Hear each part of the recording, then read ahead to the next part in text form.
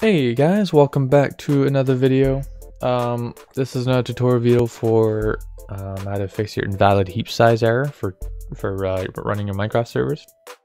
Um, this is also like a branch video for the Minecraft setup tutorials I have. Um, uh, I had a lot of comments saying, you know, we can't. I, I keep getting this error, invalid heap size, blah blah, and I also get messages on Discord and some guy was finally clear with me so i uh, you know i knew what the problem was so i you know i did a thing and it worked. It worked for him. So i'm going to show you guys how to fix that problem in this tutorial. So a couple things you need to know is your operating system um, which i'll show you how to see that which java you have installed and if you have java installed and also if you have 32-bit operating system installed like on your machine then you, the max gig RAM you can go up to is 4 gig RAM. So if you're trying to go up to 6 or, or 5 or whatever, change that immediately and then try to run your server again. If it still says the same thing, then keep watching this video. Uh, before I start, please leave a like and subscribe. It'll help me a lot. I'm trying to reach a thousand subs by 20, 2020. If I can't, then that's fine. I mean, I'm almost there anyway. Um, but it would mean a lot. All right, let's get into the video. So first of all, you want to open up a control panel. We're going to click start, type control. You should see control panel here. Once and it'll look like this. Once you're here, click the system and security, and then click system, the third one. So what this does is it'll show your system type. It'll show everything about your computer, not everything, but enough. Uh, for your system type, it'll say 32-bit or 64-bit right here. And then you want to open up control panel again and then you want to click uh, programs. And there you go. And then you'll, you'll see java here if you have it installed.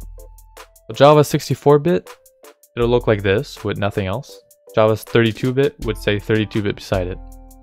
If it says 32-bit here then make sure it says 32-bit here. If it says anything different as in like if this is 32-bit this is 64-bit or this is 32-bit this is 64-bit then you would have to follow the next step I'm going to do, which is a complete uninstall and then reinstalling the right one. So now that we know this, and exit out. Those who have it the same thing, just ignore this next part. Alright, so now you want to open up your Google Chrome. You want to go to this page. I'll send a link. I'll put a link in the description about this page here. And um, if you don't want to click links because you don't trust it or something, just click um, you type in like Java 64-bit download right there. And then just go to right here. Oh, my bad. go right here and scroll down all the way to downloads and go to manual page and then it'll bring you to the same page. So now, if you have 32-bit, you want to download this one. Honestly, with 32-bit, you can download it straight from the main page where it says the big red download button. Because uh, it'll 32-bit, it'll automatically put it to 32-bit but 64-bit sometimes it like since you're using uh depending on what browser you're using it could be like a 32-bit browser it'll like download to 32-bit so it gets confusing. But uh yeah this is for 32-bit this is for 64-bit if you have 64-bit click the 64-bit i have 64-bit i say 64-bit a lot i'm sorry. Um so i'm gonna click 64-bit here. Like that. It'll bring you up the download thing put it in your downloads folder or anywhere you'll find it. And start download. There you go minimize that. Go back to your file open up your file explorer or wherever you download it go to it and then double double click on it. It'll say do you want to run it? Yes or no? Click yes. Uh, i'm not going to do it because i've already done it and i already have the right one. But once you're done that you want to make sure you have the right one. So you want to go back to control panel like so. Go to programs and then you'll see java here if it says nothing, it's 64-bit. If it says 32-bit, then it's 32-bit. Uh, so make sure it follows with your operating system that you have. Once it does, if it doesn't, make sure to do the same step. Follow it right. Do it slowly. Listen to me, and you'll you'll have the right one. So once you have it, click. Uh, you can either try running your server. I suggest you guys to try running your server right now. Um, to do that, you know, easily, you just go to wherever you have your server, and then double double click that it runs like this and it's working you know, it'll take a while for it to load and then it'll start going down. Just like that. That means it's working unless it shows up another error. Um, if it says invalid, if it says like another error, like three lines of errors, invalid the heap size and stuff, then you're gonna have to keep doing what I'm doing. You gotta stop the server. Okay, exit out of that. So now you're gonna have to click Java. It'll take a while for it to load up. There we go. Click Java again on top of the tab. And then click View. So now yours should look only yours should be only one column or one uh, one row. Mine mine has two because I have two different types of Java. And then what you want to do is over here at runtime parameters.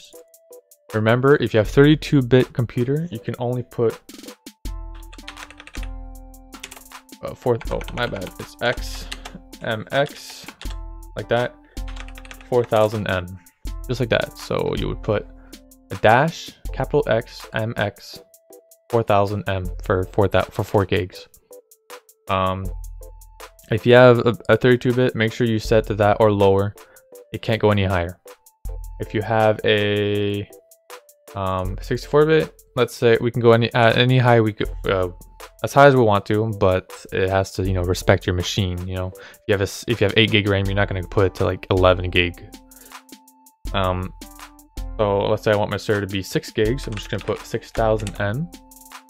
Make sure it's the same way, just change the number and then you click OK. And then before you hit this OK, you gotta hit apply. If you don't hit apply, then it's um if you don't hit apply, then it's not in the it's not in the Java.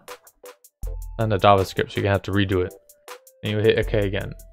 I'm gonna go back and change it to what I had because I've uh mine was working before that. So I'm not gonna I'm not gonna mess with that. Alright, so now now that now that you did that, your server should be up and running like nothing.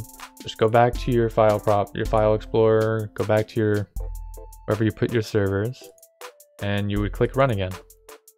And if it still says invalid heap size, and you didn't do any, you didn't do something right. So if you still need help, you did you did this three times, and you still need help, uh, you can either try leaving a comment. Like I said, I can't see much all the comments. If it's if this video does get popular, I can't see all the comments. But if um if you really need help and you know I'm not responding to you, add me up on Discord, Czor hashtag 0082. Or actually you're gonna have to you're gonna have to join my server because I can't get any private messages from anyone else. So make sure you join my server. Link is always in the description of any of my videos. And I will try and help you. Make sure you're precise though, because I get a lot of 10 year olds asking for help and sometimes it's just like I don't know what you're trying to say. Uh, to those people, I'm sorry, but yeah. so I'm ho I hope this video helped you guys.